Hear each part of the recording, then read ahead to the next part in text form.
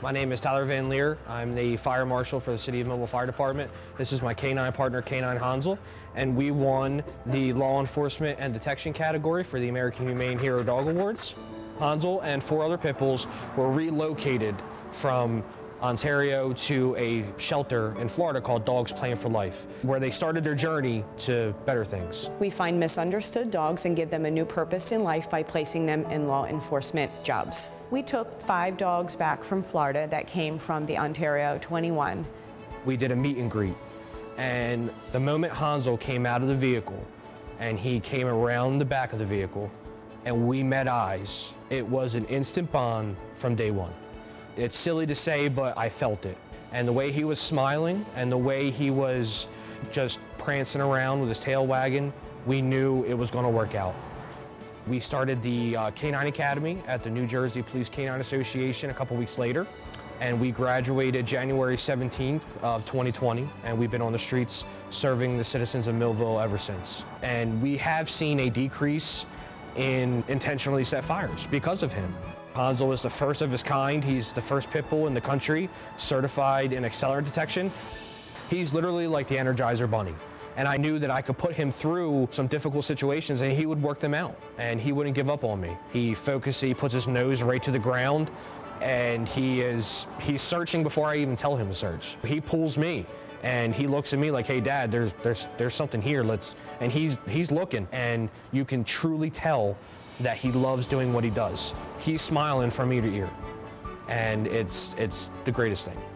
He's able to process a scene that will take um, a human being either a day or two. Hansel's able to process that scene in minutes. He's able to take everything in, figure out the problem, and able to pinpoint exactly where that odor is coming from. He makes the workday a lot better, makes it go smoother. He puts a smile on a lot of people's faces. Hansel's able to flick that switch from going to work and then, okay, it's time to be social. He comes in with his ball or his Kong and he just wants to play. And I think for the EMS side, when, they, when the EMTs have a rough call, they come back and they see K9 Hansel smiling and they're coming back to something positive, to a dog that loves them. And you can feel that. When kids meet Canine Hansel. I think they they want to either become a firefighter when they grow up or they want to do some kind of canine work when they grow up. So hopefully they, they take that home and say to their mom and dad or grandma, grandpa, whoever they live with, hey, I saw a fire dog who was a pit bull. He shows everybody that pit bulls can do a job that nobody knew of. Who knew that a pit bull could do accelerant detection?